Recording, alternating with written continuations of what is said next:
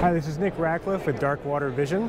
We make an infrared vision system that allows you to see through zero visibility conditions in dark, stained, tannic waters. We have a diver worn system, which is the monocular, which you see here, which the diver wears on their face mask. It comes with two lights and a battery pack. It's all self-contained within the diver. There's no tether to the surface.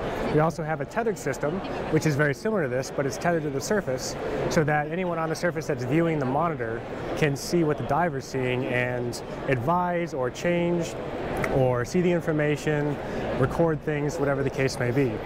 We also have a standalone camera system that allows you to, which is in the tank at the moment, uh, which you can't really see, which allows you to maybe stick a pole or attach it to an ROV and without the diver getting in the water, you can just stick it down there and see whatever you're trying to look at and maybe gather information and then send the diver down to avoid some hazardous conditions or keep the diver out of the water completely.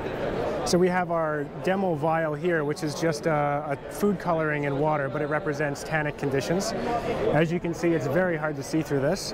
And if you are able to focus through the viewer, can you, you get Yeah. a good shot there? Okay Okay, got it. you can see that water becomes clear.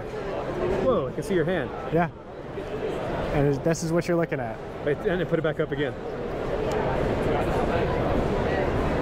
That is so wild. Yeah. So that's what the diver's seeing when they look through this.